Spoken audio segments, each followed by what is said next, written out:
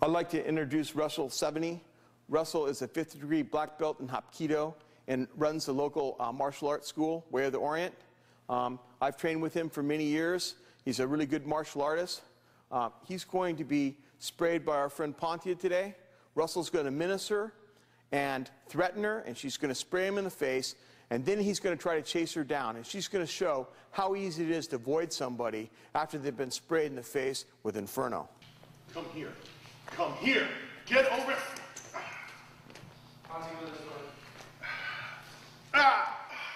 I'm done. Ah! Lean back. It's right. Ah, right in my eye. Don't keep using the same one. Toss it Water. down. the other one. You really water? Yeah. There you go. There you go.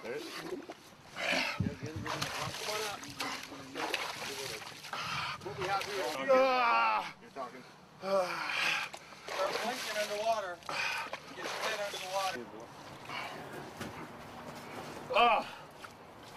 What are you feeling, Russell? I'm having a hard time breathing. Eyes are burning. You feel like fighting?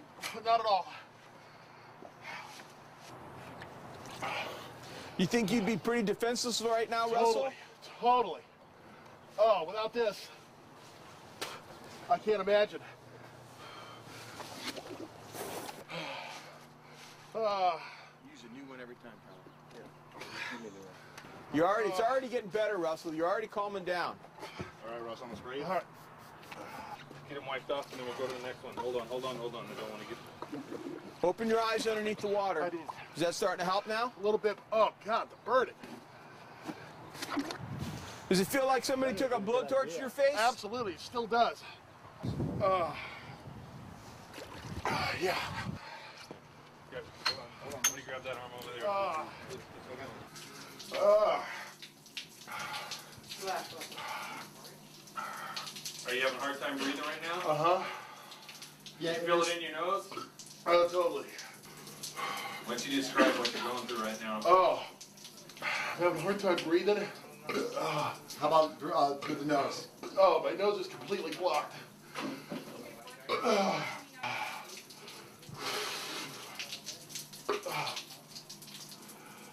Oh. Ah.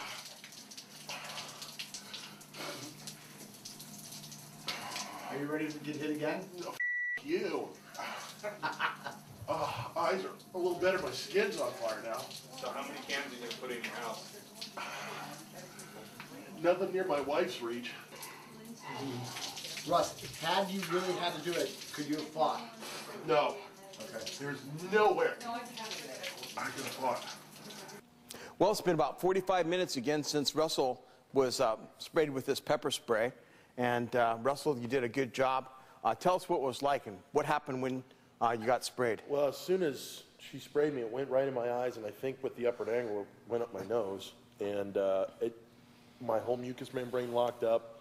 I had a hard time breathing. I was trying to find her, but I, I couldn't open my eyes to see.